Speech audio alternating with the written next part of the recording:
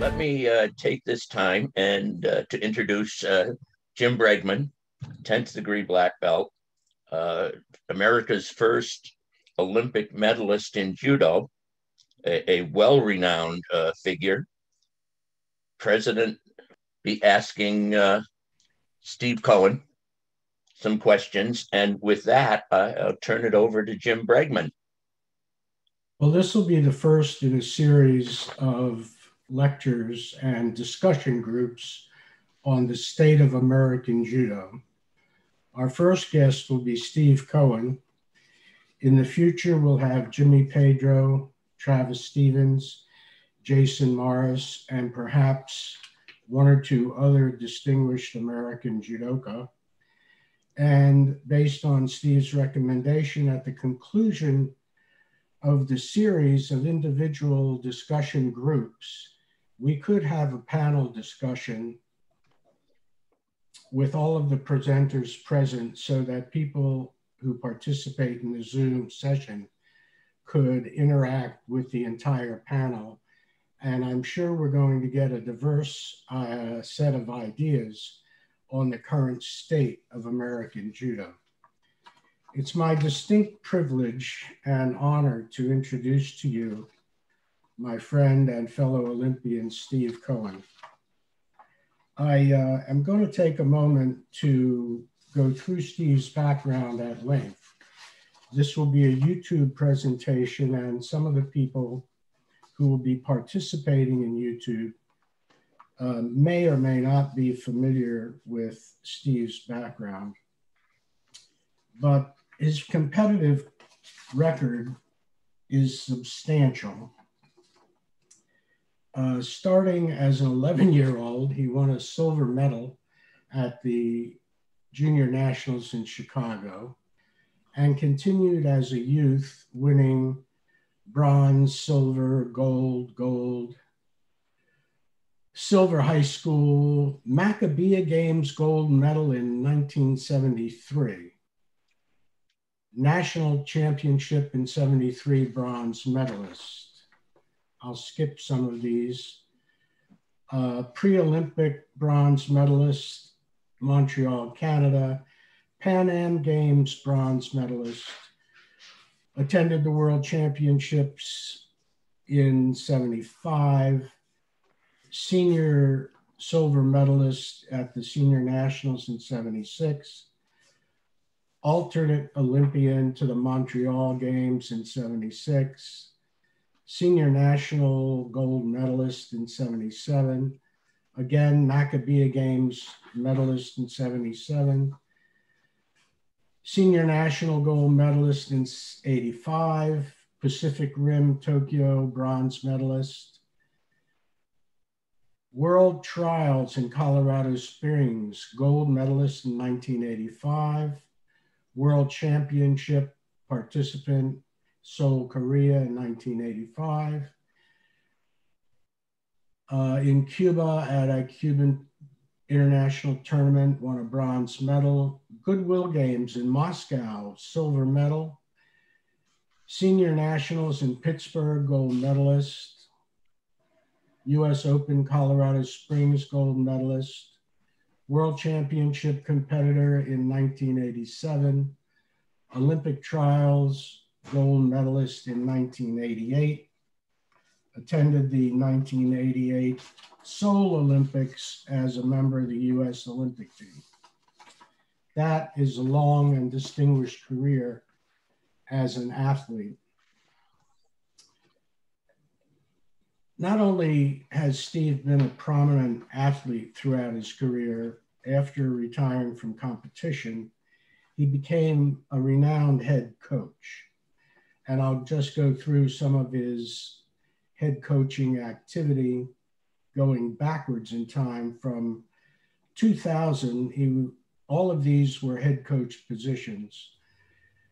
He was the head coach of the Olympic team in Sydney, Australia, coached the European Tour, Germany and Australia, World Championships, Birmingham, England, European Tour, Germany and Australia, coached the European Tour in France, Australia, and Germany. in 88, 1998, sorry. Pan Am Championships in Santiago. Coached the Kano Cup in Tokyo, Japan in 98, 97. He was the World Championship coach for the Paris World Championships in France. 97, head coach European Tour, Germany and Australia. In 96, he was the head coach at the Kano Cup in Tokyo, Japan. Again, 96 World Championships in Porto, Portugal. Head coach European Tour of Germany and Hungary in 95. 94, head coach World Championships in Cairo, Egypt. He was the head coach of the Pan American Championships in 93 in Puerto Rico. In 1990, he was the head coach in Sardinia in Italy. There are very few people on the American stage over time that have had as distinguished a career in competition and coaching as Steve has.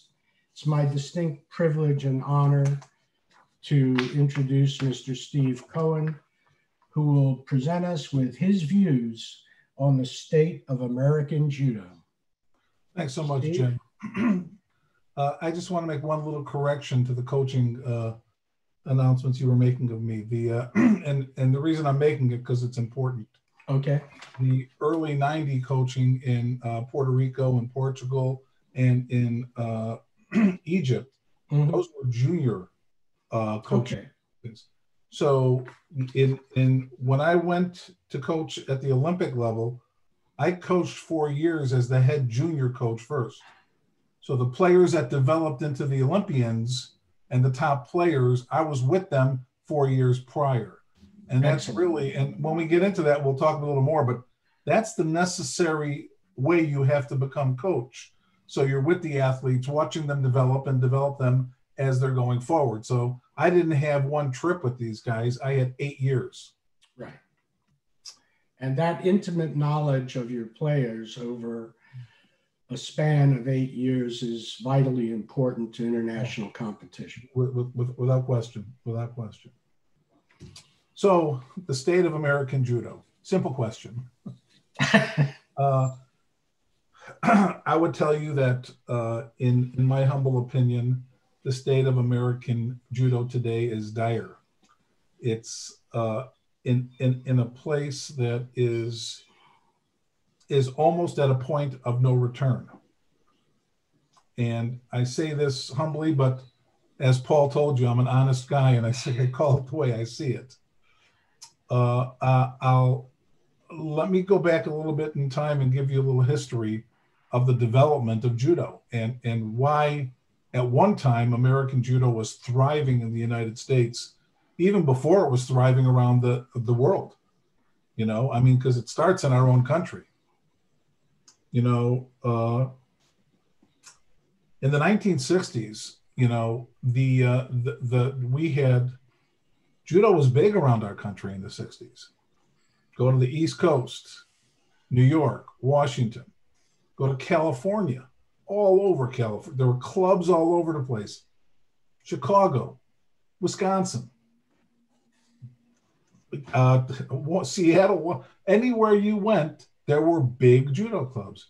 We had Yudanshikais, and and we had a good amount, a majority of the students, I would say, I guess maybe not, but the majority were second generation Japanese because the parents were the first generation and they believed judo was a critical sport activity for their kids to do. I did judo in a Buddhist temple growing up. You know, it was very Japanese. The culture was part of it, but it was it, it, it was it was very big and the competitions were fierce. Now, in the early 60s, there really wasn't junior judo. It wasn't until 1964 when we started having junior championships. My first junior tournament when I was seven or eight years old, my division was 12 and under. They didn't they didn't know what to do with junior judo. We had to build it and develop it. Uh, the person that was in charge of junior judo from the very beginning is someone that stayed close to my heart my whole life, and that's Jimmy Takamori. He was put in charge of junior judo, and and and he was uh, someone that seemed to be the certainly the right person for that job. And in 1965, we had a junior national championship in Chicago, and it, I have a picture of all the winners. And in that picture, there must be 10, 12 Olympians. 76 Olympians, 72 Olympians, kids that were young in our judo system that because of our because of the system we had they stayed in judo there were tournaments all over the country. Judo was a sport that that that that that gave back something. So uh, the parents liked it. The kids liked it. You know the the, the judo was good. And there's one other major factor. There was a magazine. So when I was a young kid and I started judo at five, you know, when I was nine years old, I had a hero. And that hero was Jim Bregman. Now, I never met Jim at that time. I eventually met him, not too much longer, but I knew about him from a magazine. We had Judo Illustrated. So not only could I see the results of the junior nationals, I saw the results of the Olympics.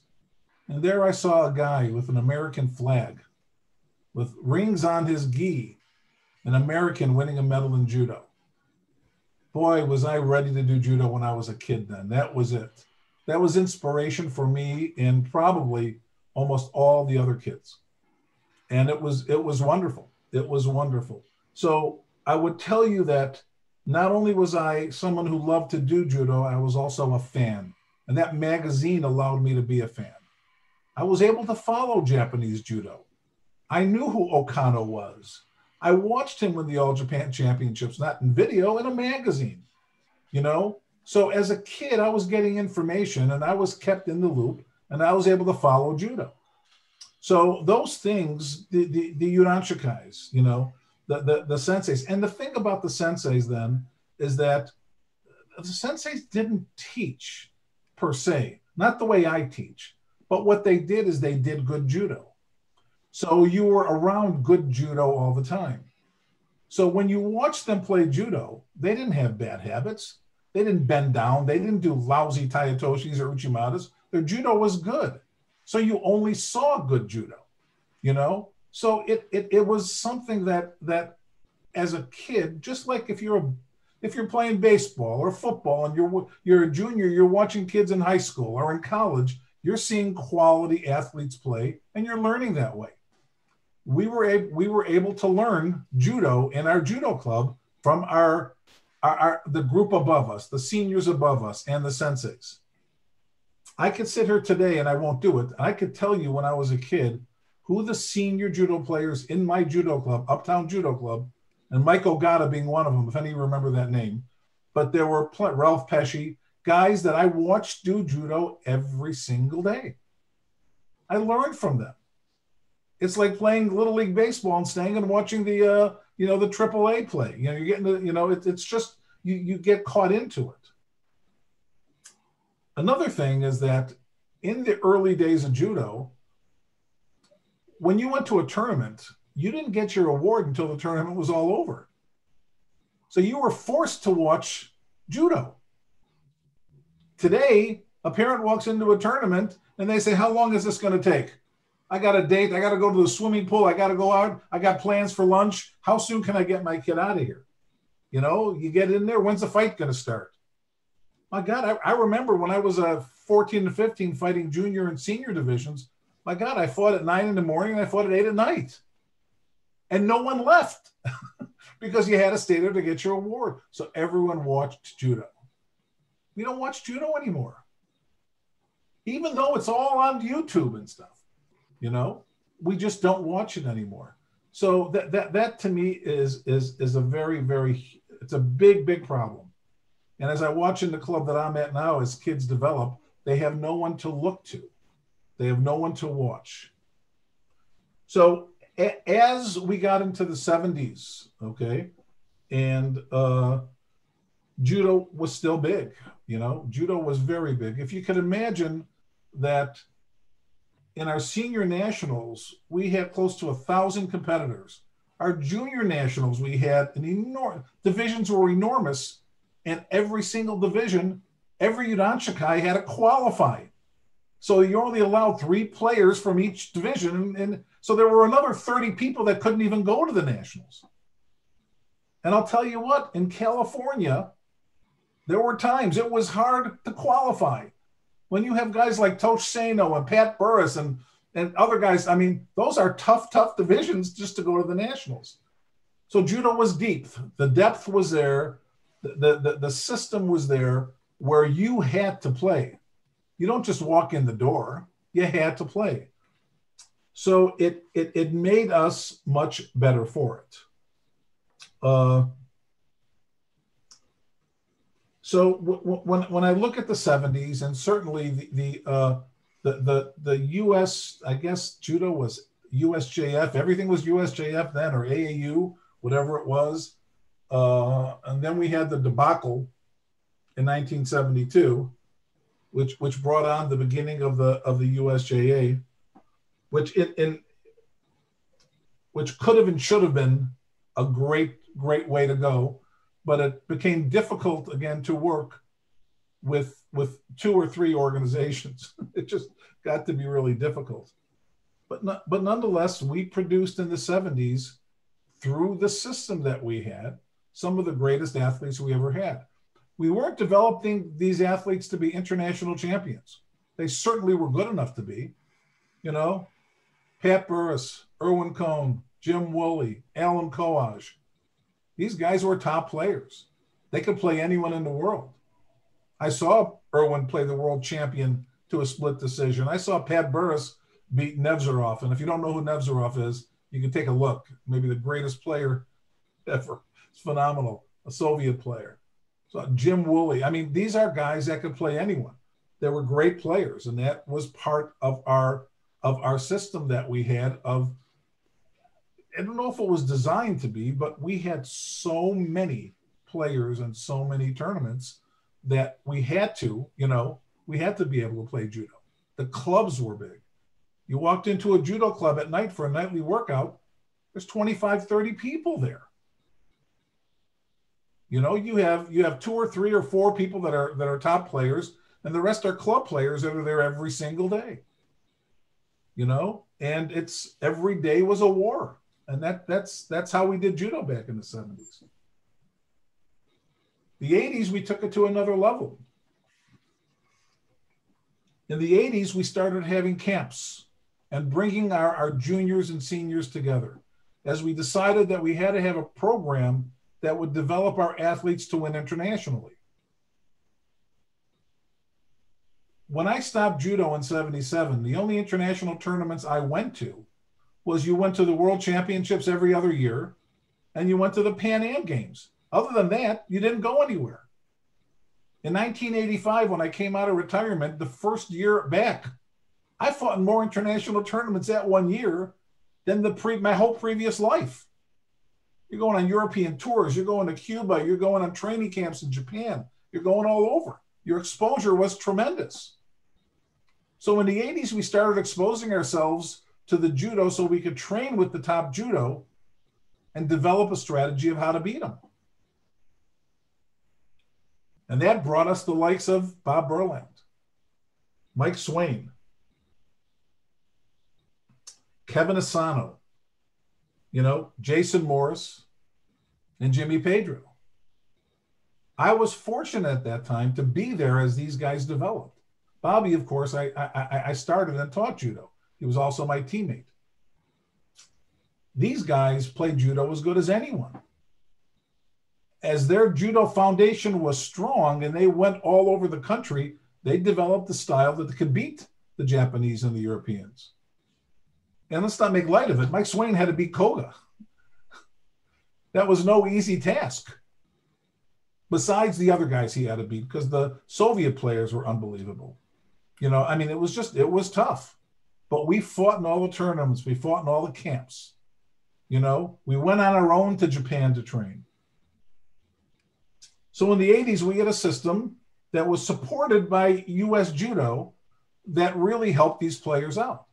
And in 1988, when Jimmy Pedro was still a junior, he traveled to Japan with us. In 87, he came to the World Championships with us.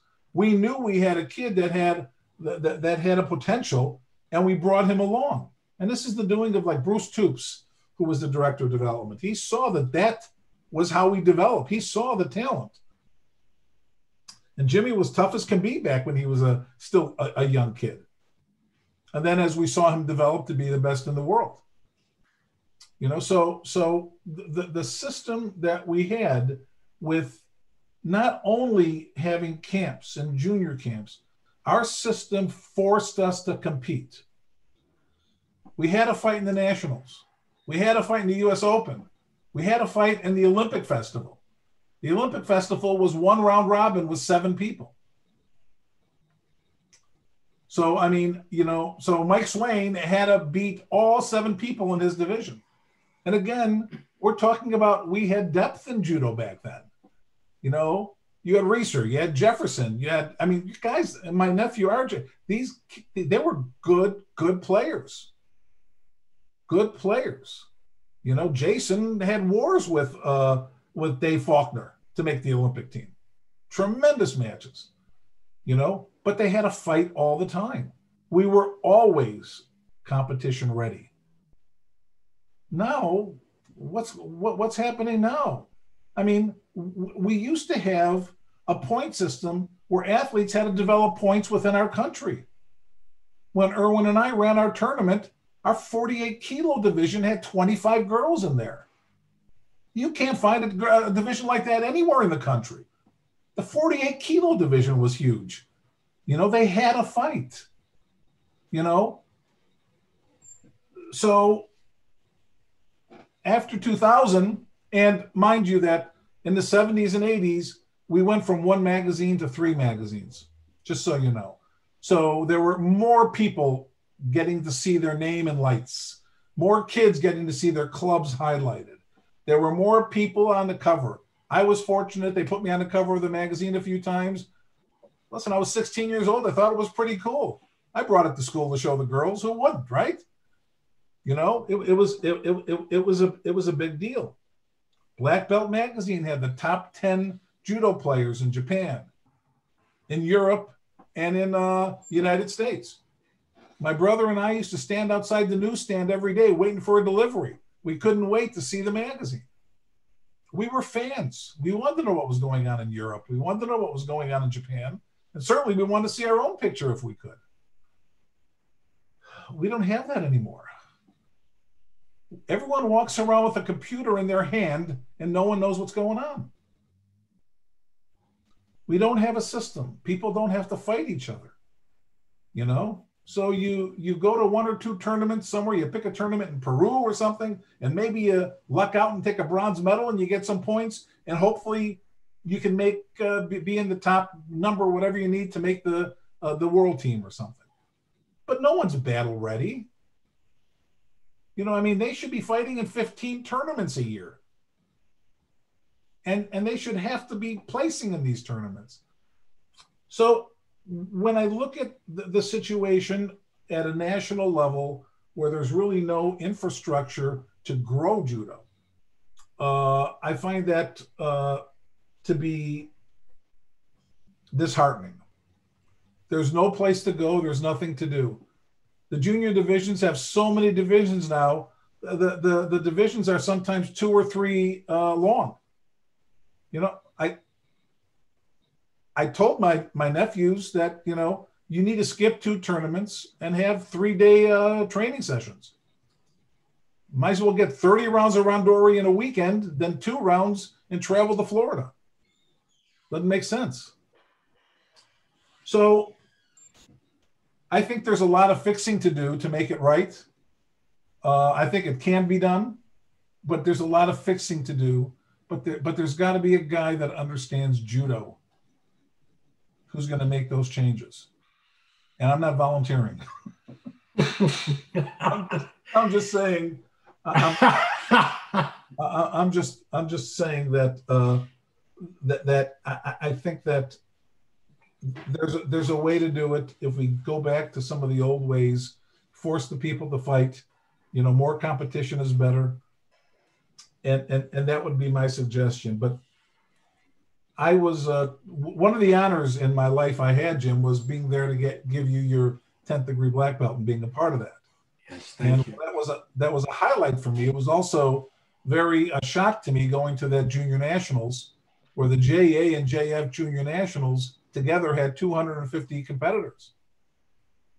Irwin and I ran a junior nationals back in the 80s. There were 1,500 people. Exactly. I mean, what happened? Right. What happened? And that was just the JA nationals, junior nationals. You know, there's no kids doing judo anymore. What are we doing about that? So, you know, there, there, there's a lot of, there's I don't know how we lost it. I don't know where we went wrong. I was gone for close to 20 years, but I know that things need to be changed if we're going to bring back judo in the United States. Thank you, Steve. That was um, a long um, answer. I'm sorry. no, that was uh, very insightful, actually, and taking us through the various decades of judo's heydays. And then, are you there?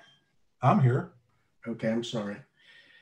Taking us through the decades of the heydays, and when judo clubs like the Detroit Judo Club, Washington Judo Club, Seinan Dojo, Uptown Dojo, these clubs had 100 to 250 people in them Absolutely. at any given time.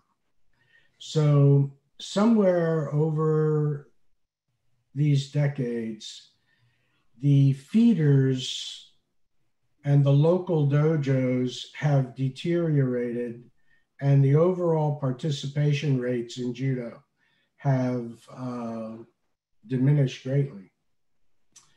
Um, Mickey has a question, Steve.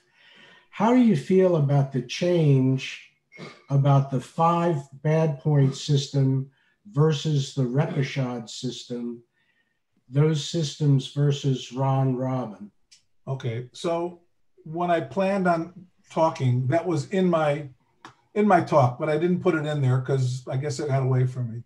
That's okay. So so it's it's it's interesting because when I was growing up, you know, in order to win a junior nationals, you had to win eight matches. The senior nationals, you know, with a five point system, it forced you to throw for ippon. It's a flawed system. It's flawed without a doubt because you can win five matches and be out of the tournament. So it's it that, that is a flaw. However, however, you played Ippon judo. People tried to throw. They stood up and tried to throw. You don't go for one, you know, leg tackle or one, you know, knockdown or one penalty you know i know the rules have evolved and whatever but i mean the the point is is that people stood up and tried to throw and you know when you look at the top players in the world they're winning by throwing people it's it's it's important uh what we, yeah I'm, I'm sorry i'm not sure if everybody knows what the five point bad point system is okay. I, I just before you you you say because not everybody has worked under that we're not everybody's old like us. right. So the five point system was if you if you got five points against you, you were out of the tournament. So if you won by Ippon, that was zero points. If you won by a Wazari or a decision, that was one point. If you lost by a Wazari or a decision, that was two points against you. And if you lost by Ippon, it was three points against you everybody was guaranteed two matches at least. And the other thing too is that there was a forced round robin at the end of the tournament. So so when uh, when you got to the finals, there had to be three left. And don't ask me why. When I was 15, I got screwed because in the junior nationals there were only two guys left without points, me and David Fisher, and I beat David. So we should have been one and two. And that's what they told us. And they had to bring a guy back in who lost to come back after we had thought we won, and he ended up beating us both. So it wasn't it wasn't favorable. I wasn't happy, but the next year I came back.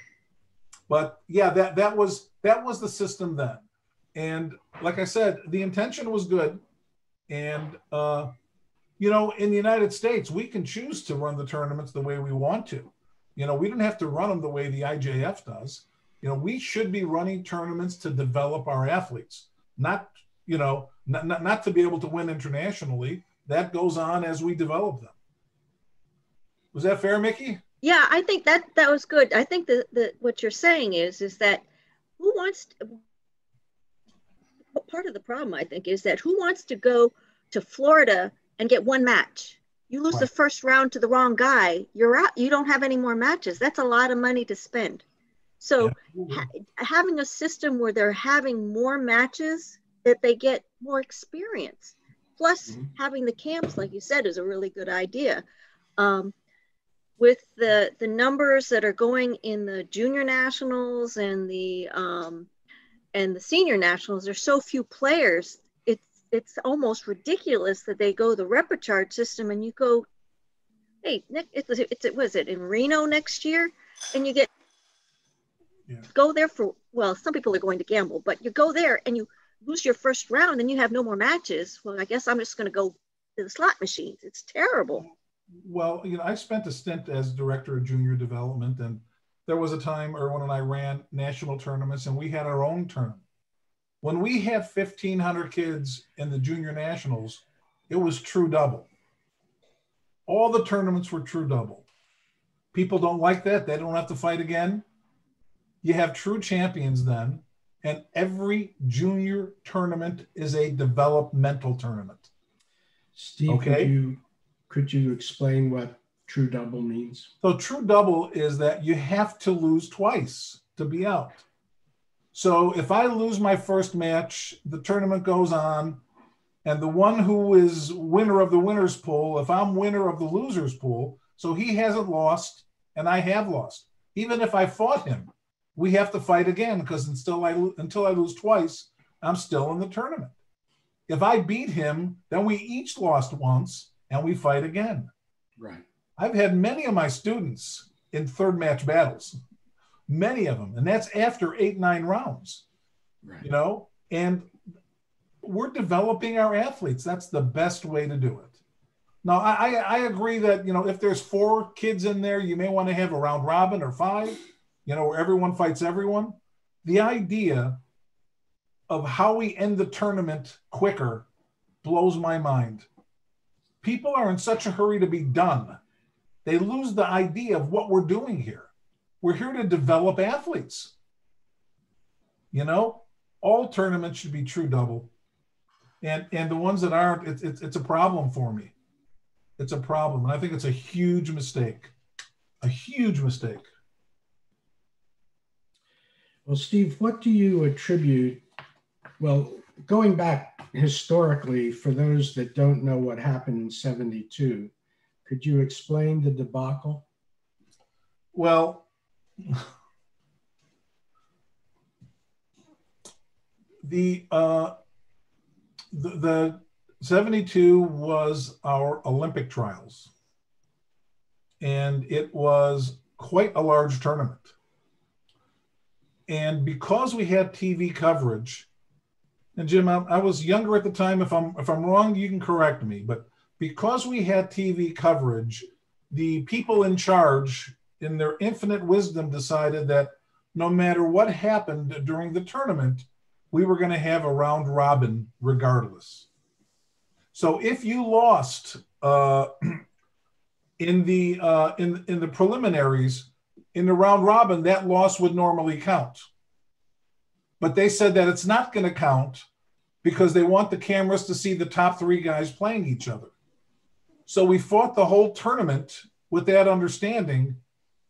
And then when the round robin came, they changed their mind. Exactly. Right. And they said, you know what? We changed our mind. And what happened was the people in the in the preliminary rounds who had the points to give you know, didn't fight hard because they knew they were going to have to fight them for the for, for, for the berth on the Olympic team.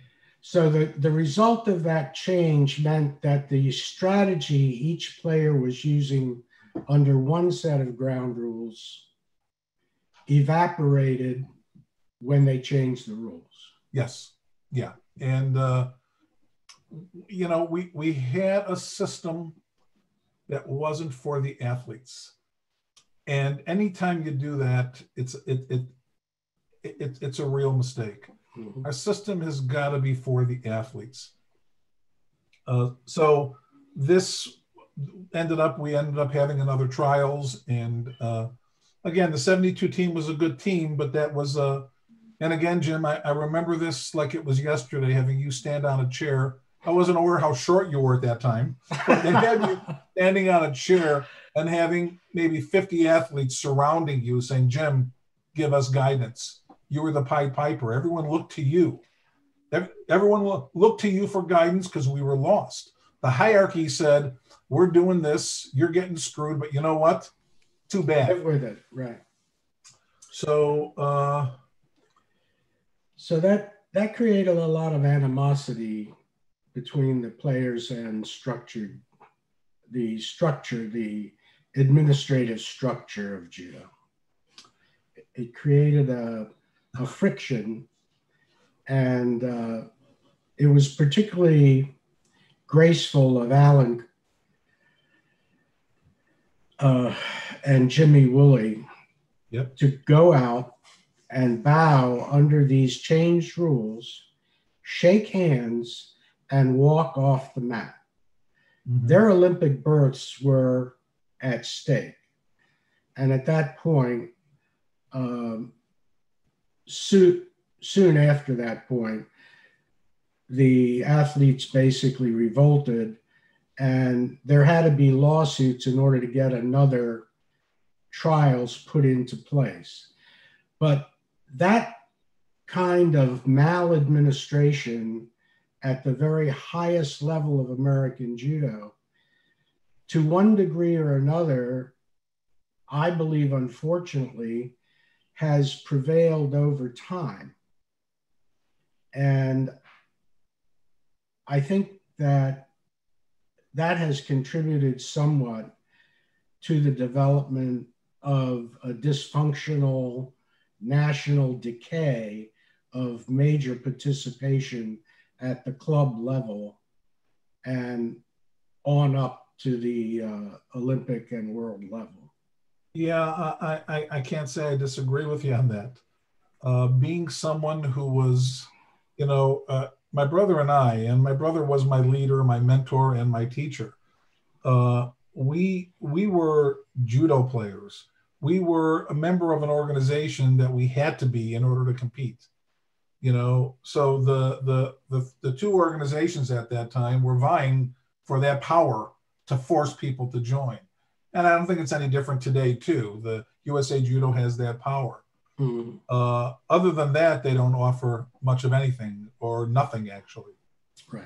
Uh, yeah, it's it's it, it, it's a real shame, and we need a a complete turnaround now, and and having someone come in and and make a major change, because what we're doing now is not working it's not working. We're not going to develop athletes. We may have some people on the Olympic team, but there's a good chance we may have nobody. I mean, how do you figure that we have the the, the we have a two-time gold medalist right now that has nothing to do with judo? You know, uh, Jimmy was was a successful coach and even a, probably a better administrator. He's not involved in in U.S. judo at all, at all. I mean, what a shame. Yeah. What a shame. So I, I don't know. Uh, you know, I, you know, the answer is we need to break it down and build it up again. Steve yes. and, and Jim, I'm sorry. Quick question: How do you feel about U.S. judo administrators? Are people who are actually not in judo? How do I feel? Yeah. Who's going to see this? Who's going to see this?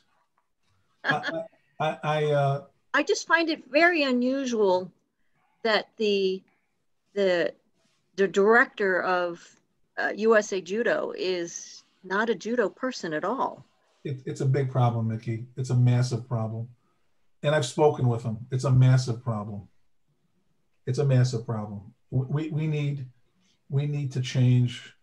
We need someone that likes, and, and he's not going to be happy I say this, but of Jimmy Pedro, someone who is uh, has the knowledge, has the understanding, and has the administrative ability uh, to put together a group and put together a system that we could work together and run.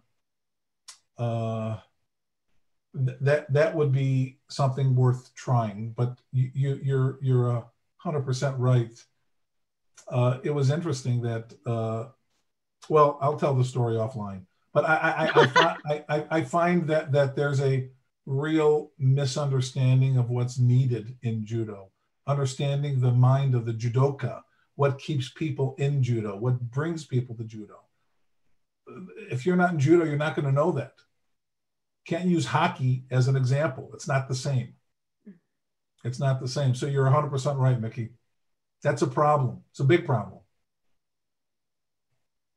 So, what what programs could be developed at the grassroots level to enhance the participation and retention rates and create more judo clubs, more petition, more participation, more retention at the ground level. It was my understanding, and again, I'm kind of an old guy, was my understanding that the Judo Incorporated group, when all of these iterations took place, was to focus on international competition and that the USJF and the USJA were to be grassroots organizations. So, how can these grassroots organizations encourage and enhance local dojos? And how can we get local dojos to reach out into the general population to recruit and retain more members. Again, I had the privilege of being a kid in the Washington Judo Club with Sensei Takemori, Donn Draeger, Ishikawa. And at any given time, we had 30 or 40 black belts. Mm-hmm. Uh, we had a ton of brown belts.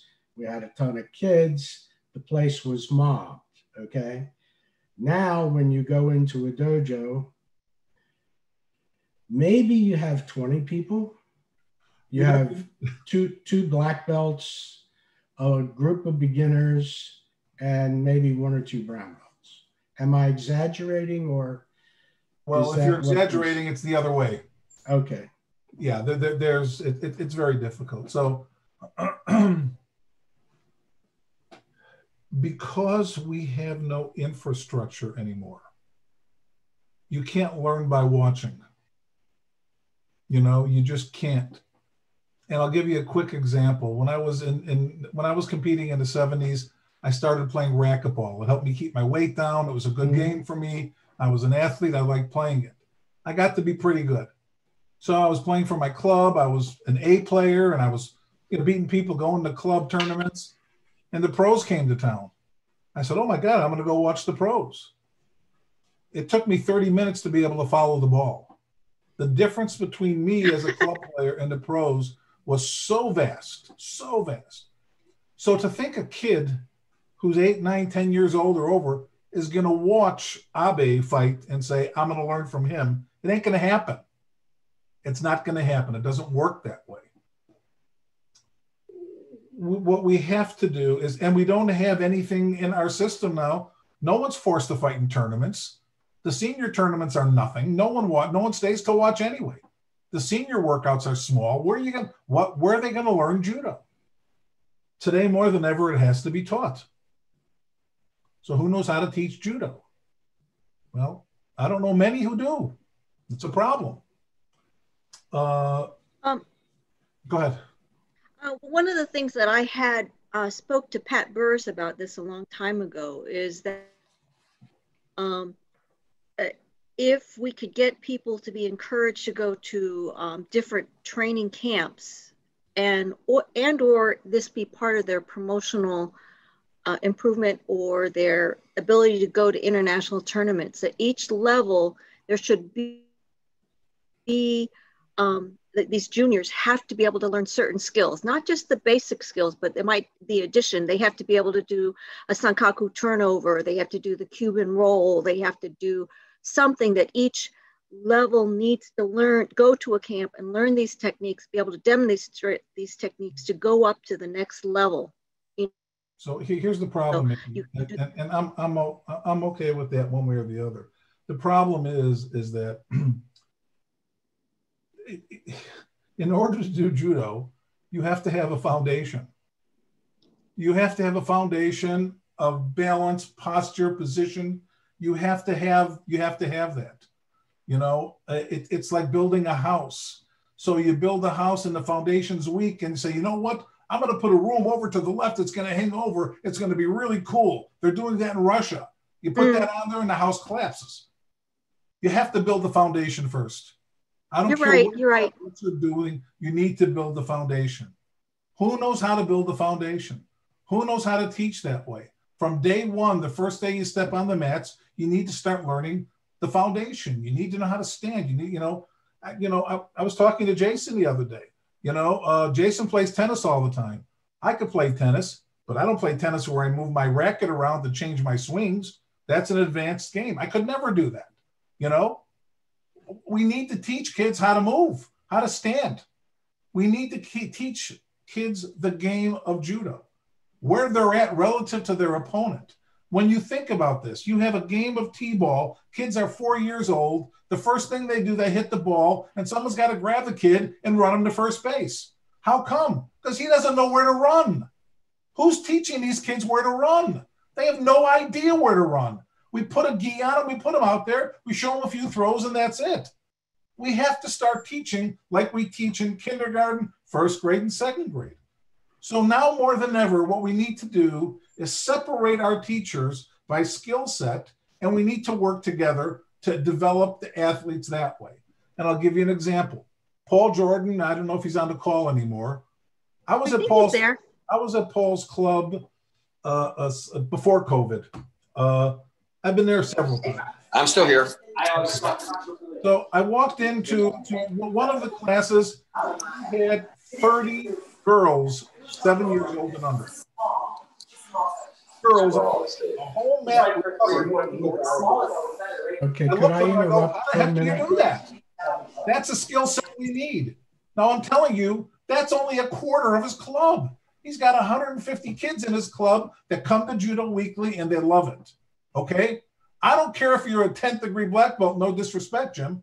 I want to learn what this guy's doing. Absolutely. He's got people coming in his club like crazy. What is he doing? My nephews have 150 students.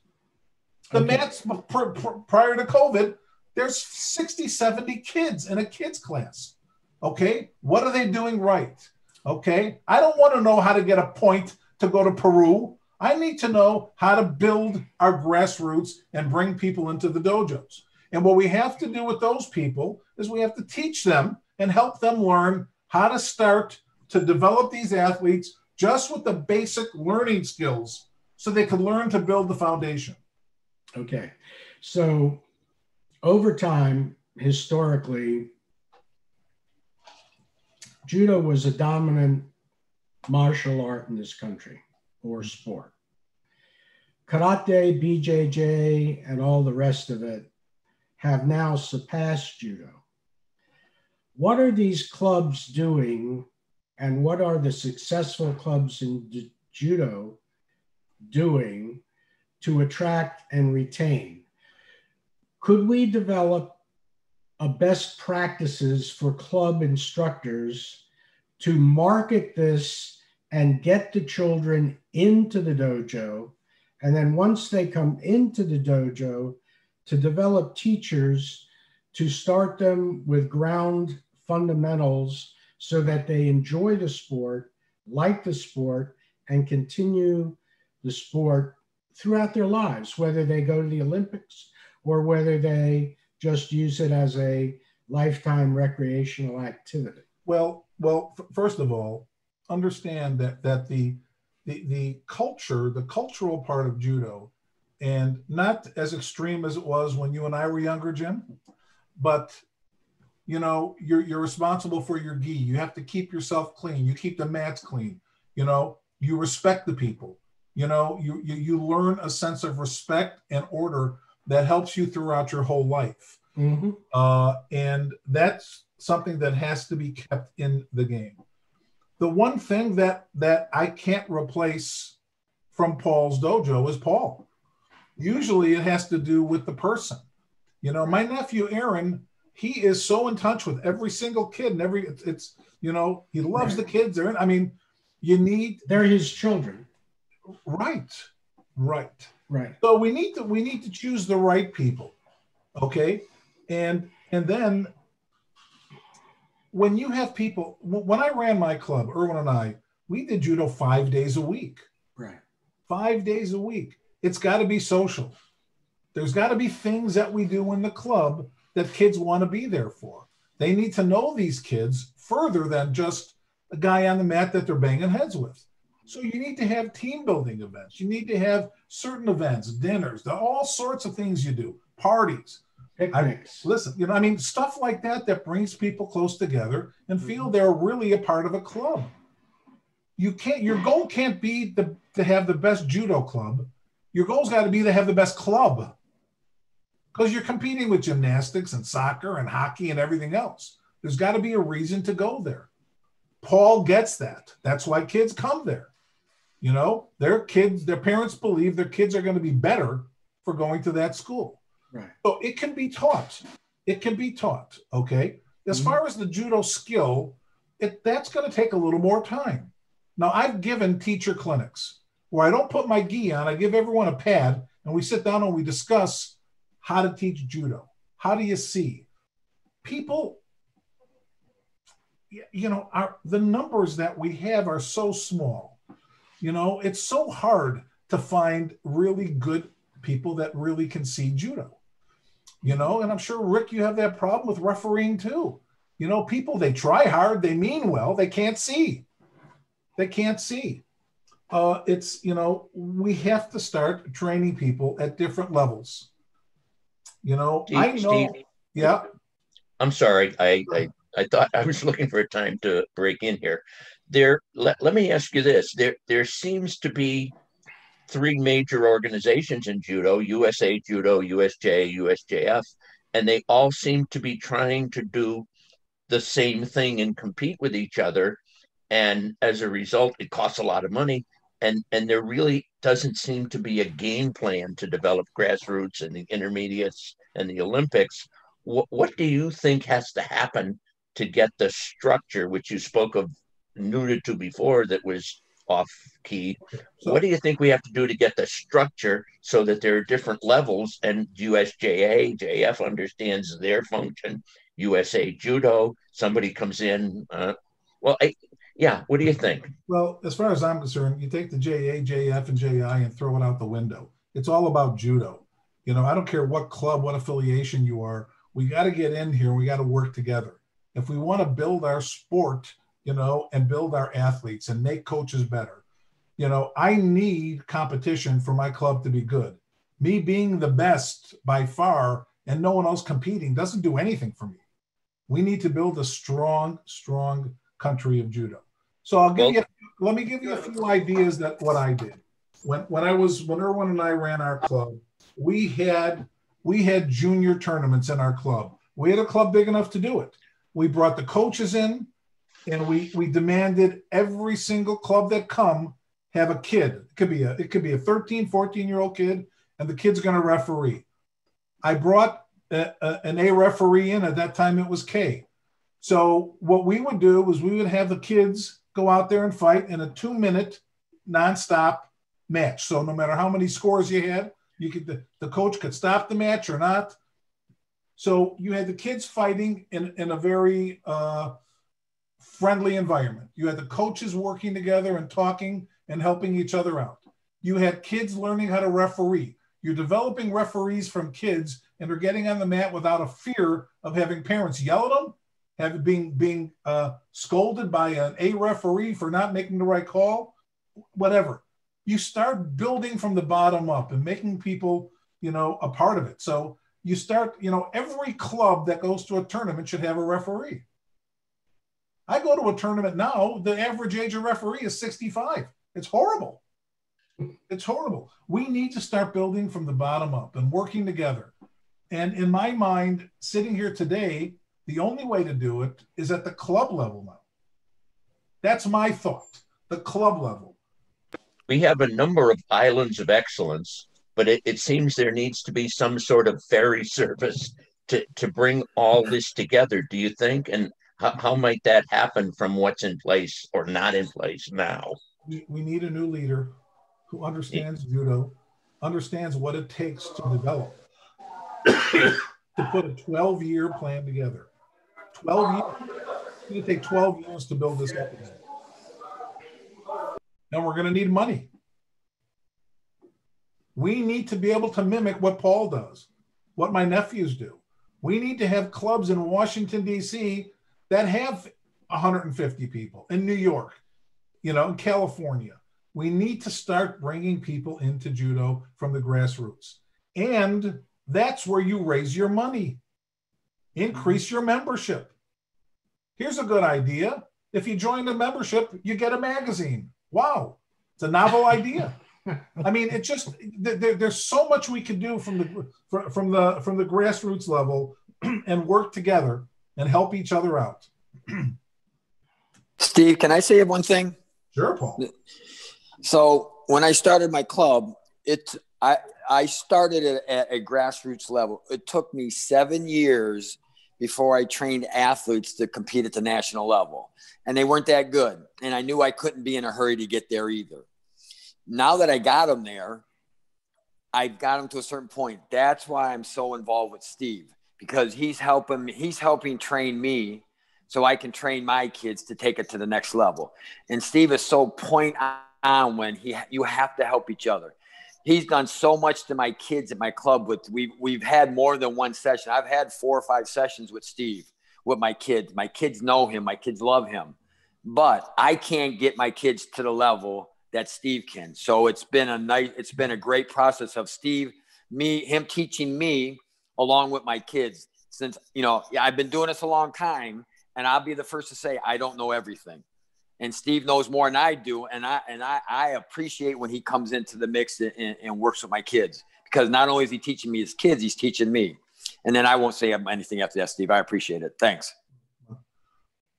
Well, today more than ever, we could work long distance. We really can. Today, uh, Paul put up a computer and I watched this class. And after I watched this class, I called the girls, the athletes over, and I and I critiqued them uh, told them what they did right, what they did wrong, and what they need to work on. And we'll do it again. And I'm able to do it from my home. So we have that ability now to actually help each other out from a distance. Okay. We have to work together. We have to work together. Okay. Paul is not new to judo. Paul's been doing judo for how many years, Paul? 40 years now? 50. 50. Paul knows judo. Yeah. It doesn't mean it doesn't mean that his teaching skills are great, but he's someone that could learn and become a great teacher. You know, it doesn't happen by osmosis. I mean, teachers today go they go to school for 4 years and they're still not really good until they're in a system for another 10 years. You know what I mean? It takes years to learn and deal with kids. When you're teaching judo, you can't teach a move straight ahead because kids move. They change. You know, they move an inch. When I'm teaching kids a move and it works great, and then they can't do it again, it's because some of the angle changed a quarter of an inch and everything changed for them. Judo's not easy to teach. You know, it's difficult. So, I mean, it's something that we need to teach our teachers. We need first to learn to, to give them a foundation. And, and we have people, whether it's Jimmy and Jason and people that are elite coaches that teach elite people, but the kids that go to their clubs don't have foundations. So Jason's teaching someone how to stand when he should be teaching them a strategy of how to get the Uchimata off against a Russian who's grabbing over the top on the other side. That's what Jason does great. You know, teaching someone how to stand up straight is not his job. they should come to him, you know, with, with, with that with that knowledge. So it's it's it's it's a problem. We we would have to really restructure. You know, uh, we have the people and the knowledge. We just have to restructure. Are there uh, any other questions that anyone would like to uh, have Steve discuss?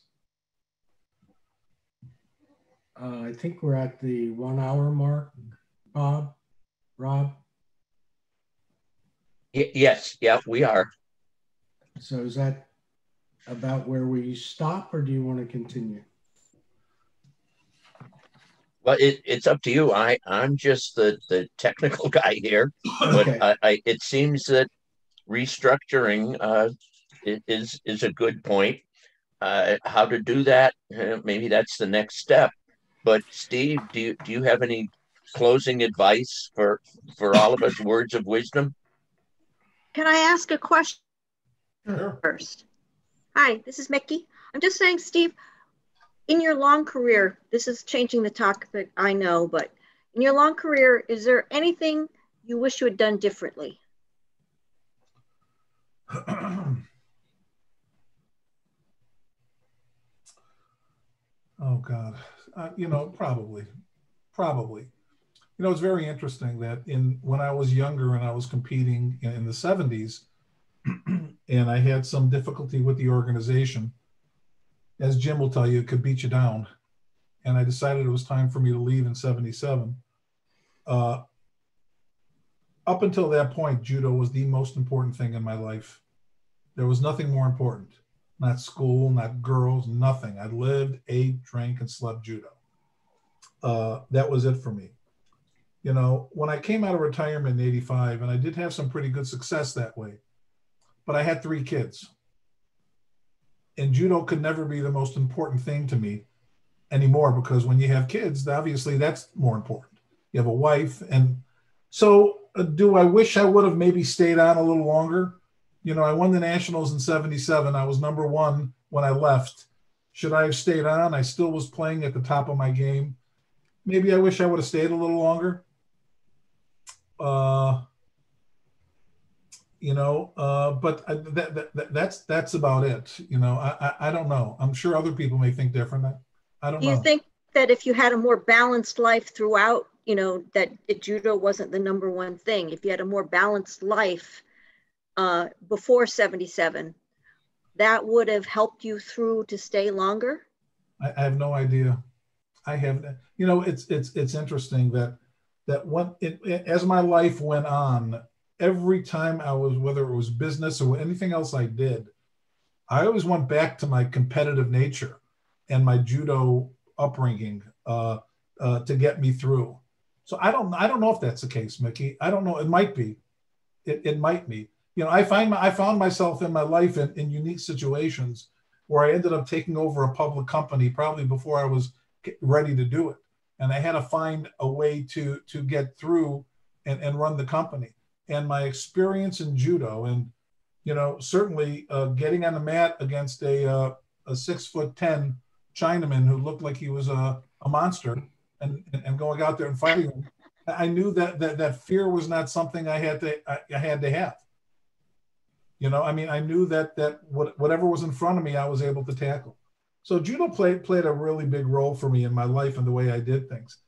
I'm, sure. I'm sure maybe if I did things different, it would have come out different. I don't know. I don't know. Uh, but I, I know that the kids that I taught, the kids that came through my program, that were good judo players and national champions, the the the, the program we had and what judo did for them is that these kids are doctors, lawyers, chiropractors, businessmen, and, and they will tell you, and their parents will tell you, it was judo that made the difference for them. So judo has a tremendous value. And if you ever take a look at how France promotes judo, it'll tell you exactly how we should promote judo. Well, that's true.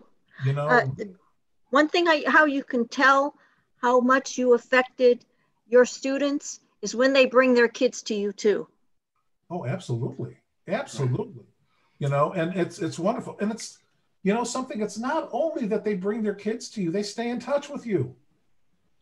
They stay in touch with you. You know, I mean, you, you're invited to their weddings. You're there for their kids. They want, you know, I mean, it had, you know, my, my life is full with my former students, and uh, what at, at all different levels. Levels, and of course, Bobby is like my brother. I'm talk to Bobby all the time. We're together all the time. Uh, so, yeah, I mean, there's so many great redeeming values for judo. We just don't know how to sell them, and that's a that's a that's a shame.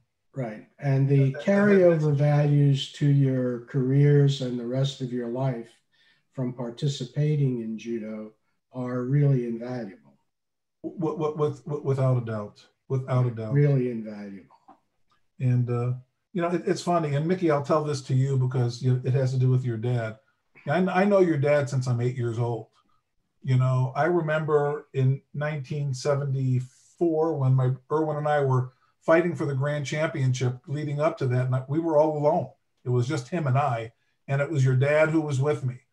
And up until the time I was done, even when I was the Olympic coach, he was coming up to me, hitting me in the head, and saying, "What are you doing? What's going on?" you couldn't get away with that now. But and, and the, the truth is, is that that relationship I valued from the time I was eight until the time he wasn't with us. And and wh- where do you have that? The, the, the value of judo is so great. We don't know how to sell it. We don't right. know how to sell it. And it's a shame. Right. And maybe somehow developing a best practices, not concerning teaching judo initially, but concerning marketing judo to the general public would be beneficial. There is no outreach to the general community on a massive level to get people back in. The Washington Judo Club had ads in the papers. Yeah. The Washington Judo Club gave demonstrations all over the Washington metropolitan yes, area. Right. The Washington Judo Club had with Jimmy Takemori's leadership and others, had people giving lectures at various schools and inviting people in.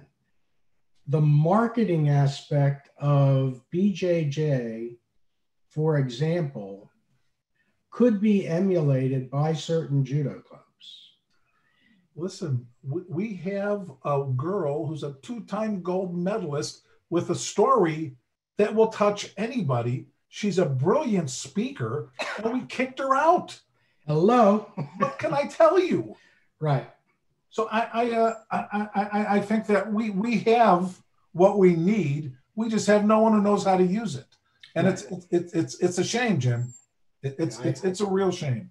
I it's agree. a real shame. I think that you know, and just a suggestion to you guys is that you know, uh, having my nephew Aaron and Paul and maybe one or two people on a call for people that have really big clubs and have people come on and ask them questions.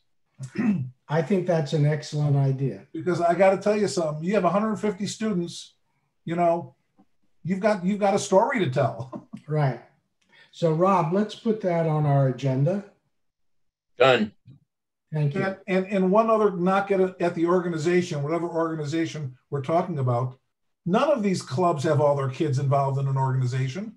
There's no reason to join an organization. An organization doesn't give them any value. The only reason they join is so they could fight in a tournament. Right. If they didn't have to fight in a tournament, they wouldn't join. Again, and back back in the day, there were reasons to join. Absolutely. But those reasons have disappeared because all of those support functions, starting with a good magazine and publicity, are no longer available anywhere. It, it's it's it's it's a shame. It's right. just a real shame. And the truth is, just to put it somewhat back on the tracks wouldn't take a lot. To mm-hmm. rebuild it would take a lot, but just a little bit, you know, a little bit would put it back on on, on the tracks. Okay, well, maybe we can get a lot of like-minded people discussing this and figure out a way to get it back on the tracks. Yeah, well, listen, you're going to talk to Jason and Jimmy and I would be surprised if they had uh, their views were much. They're not as old as I am, but their views probably won't be much different than mine. I would agree with that. So I'd like to thank all of our participants, thank Mickey and everyone who participated, and thank you very much, Steve. And I want to commend you on a brilliant coaching career Thanks. and a brilliant competitive career. Founder of the U.S. Judo Association. Nice seeing most of you.